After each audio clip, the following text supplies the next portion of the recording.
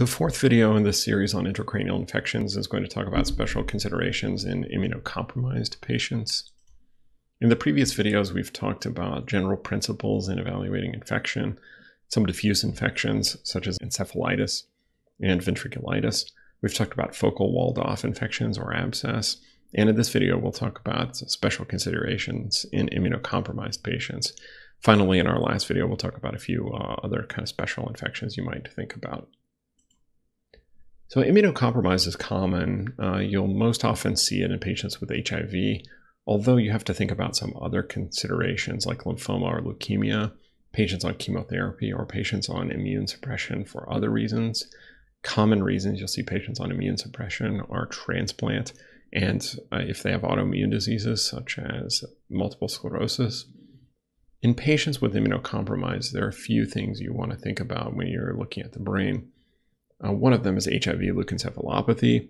You want to think about toxoplasmosis and cryptococcus, and then finally PML. So these are things that you think about more in immunocompromised patients. So HIV encephalopathy is a condition in which the HIV virus directly causes a leukoencephalopathy. In HIV encephalopathy, you get bilateral symmetric white matter abnormalities. They tend to progressively worsen over time, and they're directly caused by the HIV virus. So here you see a 59 year old patient who has a CD4 count of 169. He has his seizure disorder and substance abuse, and now he's altered. And what you can see is on FLAIR here, there's some subtle bilateral symmetric white matter abnormality. So it's a little bit too bright here where you should normally be seeing white matter. Um, otherwise, it looks pretty normal. I mean, the diffusion's pretty normal. T1 pre-contrast is pretty normal. There's no enhancement. There's no gradient abnormality there. Just a subtle FLAIR abnormality in the periventricular white matter. Now, if you move on uh, a little bit later, and you can see this actually progress over time. So this is the initial images that we saw. They're from 2015. If you move on about nine months later, you see that white matter abnormality is getting worse. You see progressive volume loss, so the ventricles are getting larger and the white matter is looking definitely worse. If you go on another uh, couple of years, the white matter is now diffusely abnormal in all of the periventricular regions. The volume loss is worse. And so, again, this is now what HIV encephalopathy looks like. It's symmetric, it's bilateral, it tends to progress with time. Toxoplasmosis is a multifocal infection in the brain. Its most common location is going to be the basal ganglia. Usually, unlike abscess, it doesn't have reduced diffusion. You can have what's called the target sign, where you see a bit of a bullseye or a rim of enhancement with, uh, with central hyperintensity. Uh, so here you see a patient who's a 33-year-old woman coming in with a very low CD4 count of 16. On FLAIR, you see multifocal areas of abnormality. So you see hyperintensity here. You see some abnormality in and around the ventricle here. Uh, here you just see up higher, you see a little bit more. Here you see on pre-contrast, uh, there's no intrinsic T1 hyperintensity, but then these lesions are avidly enhancing. So you see this lesion in the anterior cingulate enhancing, uh, lesions in the frontal lobe enhancing, and here you see a little bit of that target sign. So you have a little bit of a bullseye have an outer rim, and here you see it again. So an outer rim of enhancement with a central area of enhancement there. That's the target sign, which is often seen in toxoplasmosis.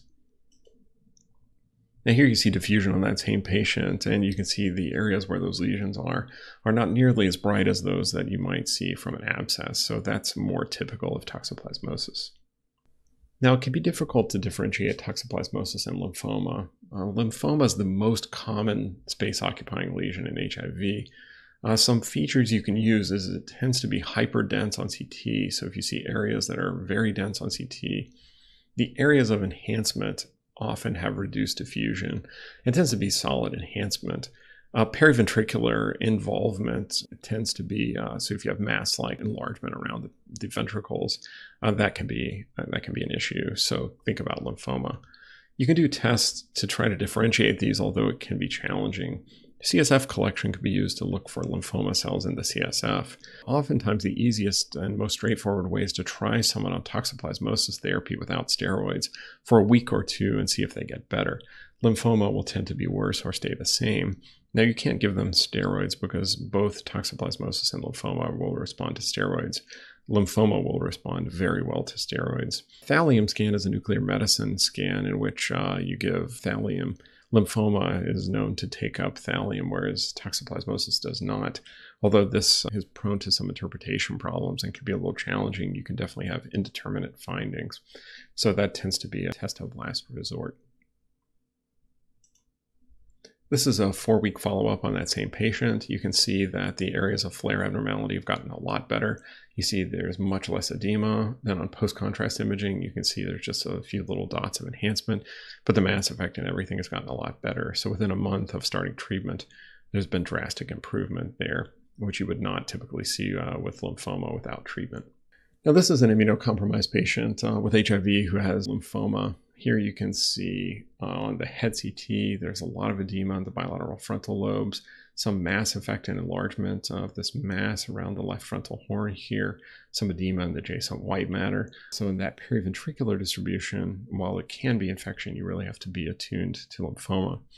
This was a 50-year-old patient with HIV who was altered. Here you see the images from the patient's MRI you see on diffusion, there's a little bit more of a diffusion abnormality on DWI, so it's kind of bright. On ADC, it's somewhat dark, particularly in those periventricular regions. That's sort of intermediate on FLAIR or T2. On post-contrast imaging, you have a lot of peripheral enhancement uh, around here, so you can kind of see, and especially in immunocompromised patients, lymphoma may be a little bit less solid, but this pattern of enhancement around the subependymal margins with enlargement is pretty classic for lymphoma. This patient went on to get biopsied and be documented to have lymphoma. Finally, one other thing you should think about is cryptococcus, and uh, can certainly have multiple manifestations. Uh, the most common one that you'll hear about is a basilar meningitis, or this description of pseudocysts or gelatinous pseudocysts, which fill up the perivascular spaces of the basal ganglia. Now, that's um, manifested as you have these multiple cystic lesions in the basal ganglia. They may have enhancement, but more often than not, it's minimal. Here you see a 25 year old with HIV and headache who's positive for HIV. The cryptococcal antigen is positive, and you can see these perivascular spaces are very enlarged in the basal ganglia. Now, sometimes you can see these in older patients who have a lot of volume loss, but it would be very unusual for a 25 year old to have this much uh, enlarged perivascular space. So, when the cryptococcal antigen is positive and other tests point towards cryptococcus, uh, this is most likely going to be an active case of cryptococcus. Now here on post-contrast imaging, there's very little, if any, enhancement there. So again, you see that enhancement is not a key feature of this infection. Another special consideration you want to make in patients with immune compromise is PML or progressive multifocal leukoencephalopathy. This is a disease of the white matter which is caused by reactivation of the JC virus. You can see this in immunocompromised patients, most commonly those with HIV or on immunosuppression, uh, particularly some MS therapies. The treatment for PML is to, if you have HIV, is to start uh, antiretroviral drugs and bring the immune system back. If you are on immune suppression for MS, for instance, then you must uh, stop the immunosuppression. The imaging appearance of PML, unlike HIV leukoencephalopathy, is, tends to be asymmetric and uh, subcortical, so less around the ventricles and more in a subcortical location. It tends to be more T1 hypointense, a little bit darker, and characteristically, it does not enhance. So here you see a case of a 44 year old man coming in with HIV, encephalopathy, and cognitive issues with a very low CD4 count. On diffusion, you see areas of hyperintensity, particularly in the subcortical white matter, and U fibers. You see this appearance on FLAIR and diffusion. Uh, the involvement of the U fibers is characteristic only of a few uh, diseases, particularly demyelinating diseases such as MS and PML. Now you see on diffusion it's somewhat bright, but again, scattered lesions, asymmetric, predominantly involving the subcortical white matter. Here you see pre and post contrast imaging. So you, you see those areas which were involved are quite dark on T1. You see patchy areas of loss of myelin essentially, with uh, essentially no associated enhancement. Now here I've brought up the picture of the person from before who has HIV encephalopathy, just to show you how bilaterally symmetric and diffuse it is in comparison to this person who has PML, where it's subcortical, asymmetric, and focal. In summary, immunocompromised patients are susceptible to a different set of CNS infections than people with the normal immune system, with the main things you have to think about being HIV leukoencephalopathy, toxoplasmosis, Cryptococcus and PML. There are a couple of key confounders that you have to think about. Toxoplasmosis and lymphoma can be somewhat challenging to differentiate and can require a trial of toxoplasmosis therapy. PML versus HIV encephalopathy, there can be some overlap, but think about those distinctions, whether it's symmetric and bilateral versus irregular and subcortical.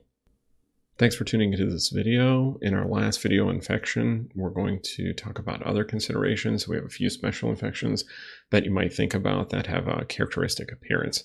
So tune back in for that video and thanks.